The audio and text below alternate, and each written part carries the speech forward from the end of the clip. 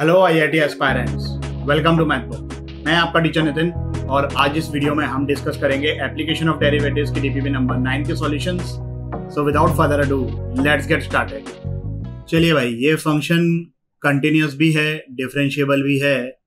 तो point of inflection पर इसका डबल डेरिवेटिव ज़ीरो होगा.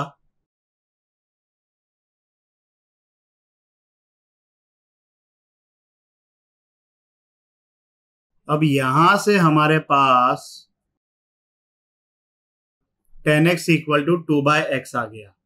देखो, जो चीज़ हमको प्रूव करनी है, उसमें कोई भी ट्रिग्नोमेट्री वाली टर्म नहीं है। तो ये जो हमारा ओरिजिनल एक्सप्रेशन है, क्वेश्चन वाला, उसमें मैं साइन एक्स को रिप्लेस करूँगा, क्योंकि हमारे पास tan x equal to two by x है। यहाँ से मैं साइन एक्स निकालू तो वो ये आ जाएगा। टेन एक्स मतलब perpendicular upon base sine x मतलब परपेंडिकुलर अपॉन हाइपोटेनियस और प्लस माइनस इसलिए because we don't know the quadrant तो ये साइन एक्स वाला एक्सप्रेशन हमने यहाँ सब्सटीट्यूट किया। दोनों तरफ़ स्क्वायरिंग करेंगे। तो जो चीज़ प्रूव करनी थी, वो आ गई। आगे बढ़ते हैं। पहले तो इसका डबल डेरिवेटिव निकाल लेते हैं भाई।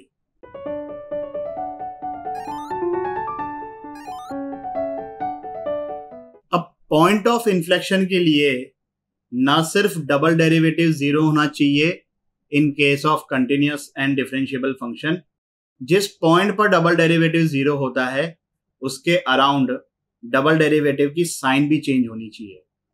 पॉजिटिव से नेगेटिव या नेगेटिव से पॉजिटिव अब ये जो क्वाड्रेटिक है, इसमें लीडिंग कोएफिशिएंट पॉजिटिव है. तो इसके पॉसिबल ग्राफ्स क्या क्या हो जाएँगे? इस केस में डबल डेरिवेटिव कभी ज़ीरो नहीं होगा. इस केस में डबल डेरिवेटिव ज़ीरो होगा, लेकिन जिस पॉइंट पर डबल डेरिवेटिव ज़ीरो हो रहा है, उसके अराउंड साइन चेंज नहीं होगी. यही एक अकेली पॉसिबिलिटी है जिसमें जहाँ पर डबल डेरिवेटिव ज़ीरो है, उसके अराउंड डबल डेरिवेटिव की साइन चेंज हो रही है। इस पॉइंट से पहले पॉजिटिव इस पॉइंट के बाद नेगेटिव इस पॉइंट से पहले नेगेटिव इसके बाद positive so the only possibility here is this one मतलब इस क्वाड्रेटिक का डी पॉजिटिव होना चाहिए।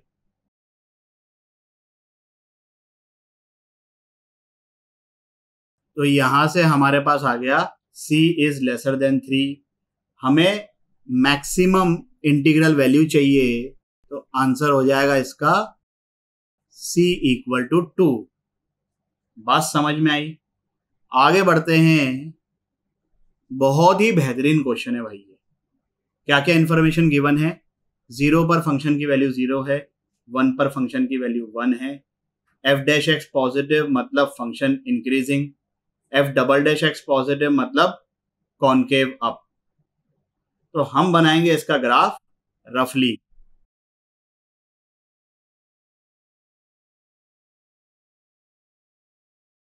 अगर ये y equal to f x का ग्राफ है तो f इनवर्स x का ग्राफ कैसा होता है? Y इक्वल टू एक्स के अबाउट इसका रिफ्लेक्शन तो ये हो गया ग्राफ एफ़ इनवर्स एक्स का। अब देखना भाई मज़ेदार बात। ये यहाँ पर मैंने कोई पॉइंट लिया जिसके कोऑर्डिनेट्स ये होंगे। अब क्योंकि एफ़ एक्स और f inverse x are symmetrical about the line y equal to x इस पॉइंट ए की अगर मैं y इक्वल टू एक्स के अबाउट मिरर इमेज निकालू तो a डैश के कोऑर्डिनेट्स क्या होंगे भाई? ये। अब मैं a से एक लाइन बनाता हूँ परपेंडिकुलर टू एक्स एक्सेस तो ये जो पॉइंट है, b, इसके कोऑर्डिनेट्स होंगे ये। क्योंकि line perpendicular to x axis है तो उस लाइन पर एक्स कोऑर्डिनेट तो सेम होगा। पॉइंट ए का एक्स कोऑर्डिनेट और पॉइंट बी का एक्स कोऑर्डिनेट एक्स हुआ। और ये जो पॉइंट बी है, वो इस कर्व पे लाई करता है तो y coordinate f inverse x हो जाएगा। अब सबसे इंटरेस्टिंग चीज़, यहाँ पर मैंने एक कॉम्बिनेशन लिया है। आप कोई सा भी कॉम्बिनेशन लेके देख लो। ये जो ओ ए डैश है ना, इसका स्लोप ओ बी के स्लोप से ज़्यादा ही होगा।